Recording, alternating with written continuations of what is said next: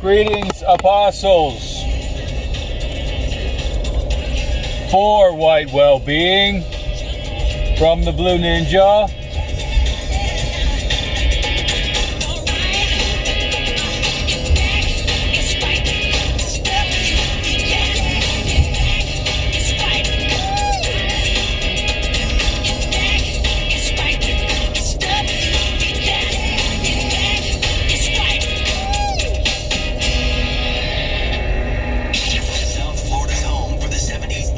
And that was another edition of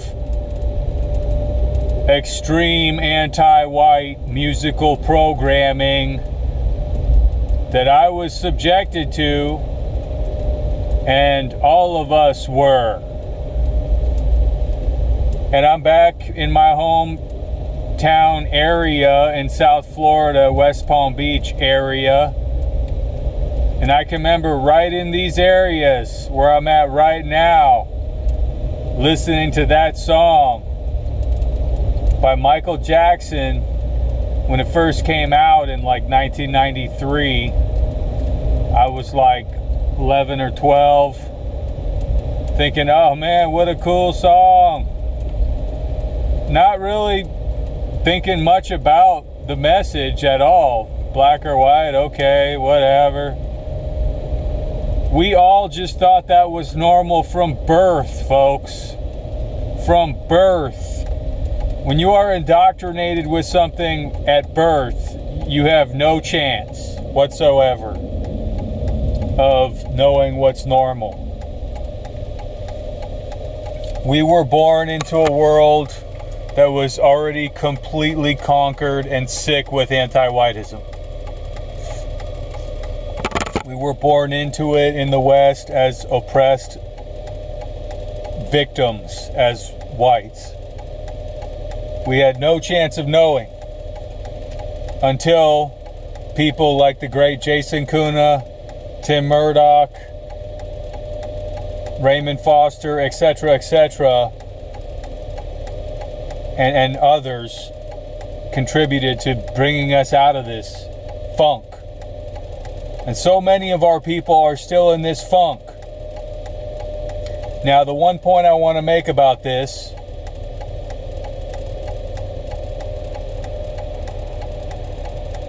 is that that song, Black or White by Michael Jackson, is clearly about race. It even says in the song as a lyric, it's not about race. I'm not going to spend my life being a color and all that nonsense. That song is specifically about race. And the point I want to make about that is that the whole idea from for the anti-whites is to barrage us with all that racial stuff, but keep and keep whites from talking about it. The attacks have always been racial. And that's the one thing the anti whites tell whites never to talk about. And what do they tell whites all the time? It's not about race, it's not racial while they talk about race all the time themselves and continually attack us on the basis of race, specifically and explicitly. So they just say white man bad, white race is bad because of their race, blah, blah, blah, all day long. And then when they're talking to whites, it's not about whites, it's not about race, white people. That's the message they give to us and only us for so many years now. They're just, they've been brutally slitting our throats racially for so long.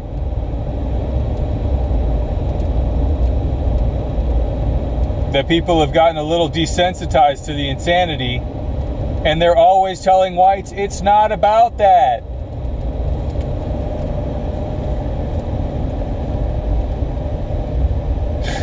right? So it's as two faced as you can get.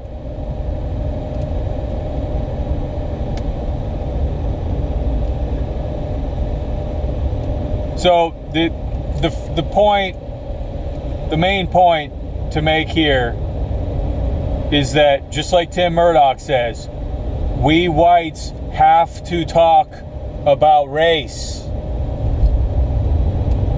We have to understand that it is about race. And absolutely stop believing the lies the anti whites have fed us. Most of us see miles through that.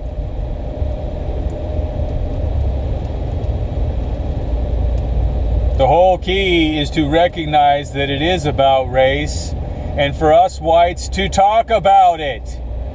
That is the magical key that will unlock our salvation, folks. Whites talking about race in an effective and constructive way that works for our well being. It has to be done carefully and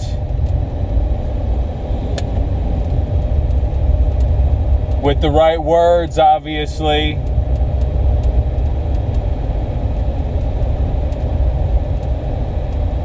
But it has to be done.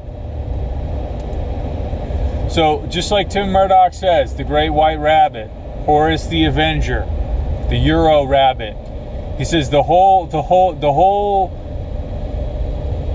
uh, basis for anti-whiteism to have continued for so long is that whites do not talk about race, and specifically not anti-whiteism. That is a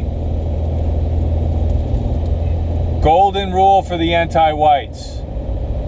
That's the only way the anti whiteism could ever continue. It always depended on whites not talking about race, essentially. Everyone else can talk about it except for whites.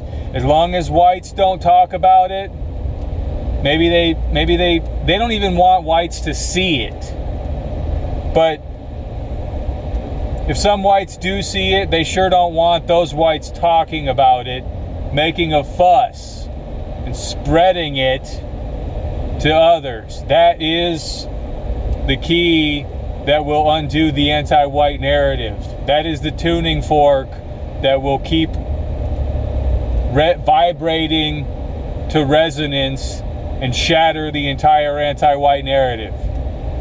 Once that starts going, that tuning fork, it will only spread and resonate. Anti whites know this.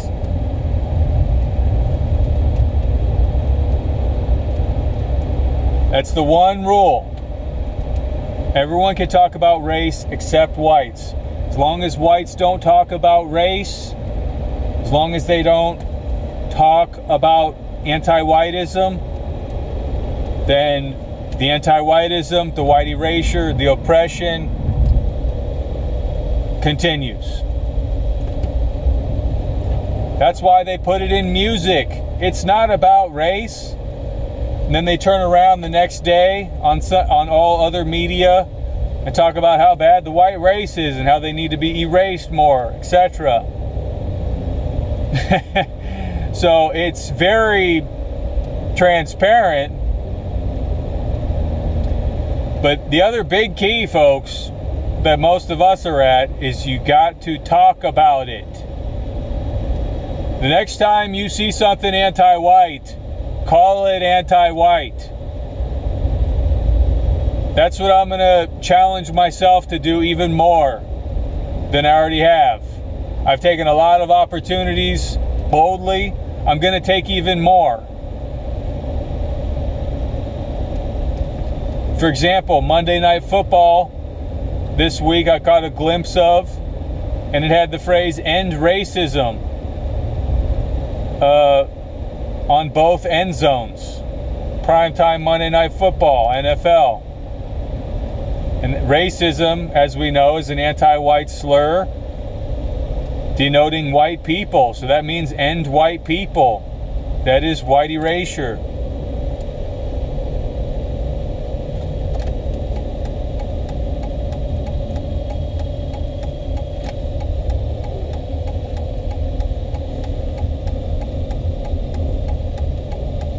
So we got to say next time I see something like that, I don't care who's around, who's around. If it's not only strangers, I'm just going to blurt out and say that is an anti-white slur. That is so anti-white. That is so disgustingly anti-white. Right there on TV, end racism, that's an anti white slur, that's anti white. I'm going to blurt that out next time I see something like that in a store. I've done it before. Usually it's to people.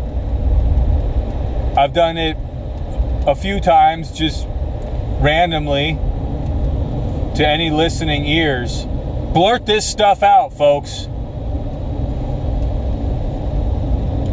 Time to really, really get outside your comfort zone. So that's the challenge that I'm giving myself and everybody, each and every one of you out there,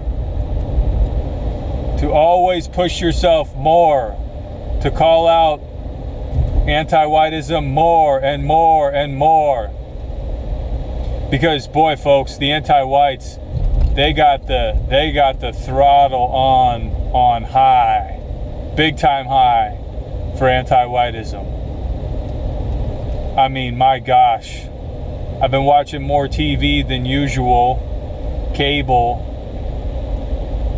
Oh my gosh folks it's it's too much to even name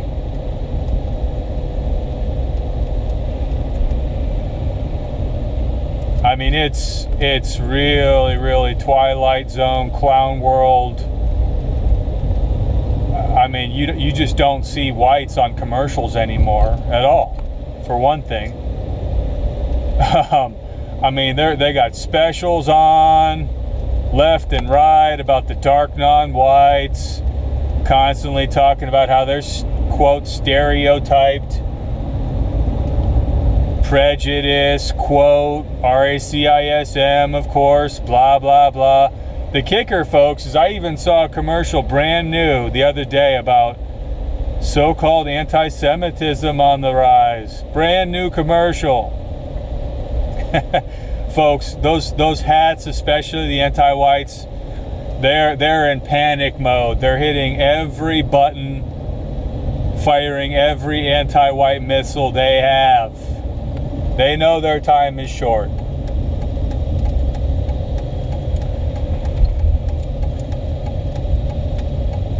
But they do have a lot of firepower still left, unfortunately. And they're just launching everything off. And it's it's a crap show, as we all know, folks. A lot of flack coming our way each and every day. Call this stuff out, folks. This is emergency mode. If, if anyone is waiting for emergency time to really let it all fly, this is that time. it's now or never. It's go time, folks. Everything is on the line, whether you realize it or not. So fight like your lives and your family, and your entire race of people depend on it because it does. Amen and hallelujah. Long live the West.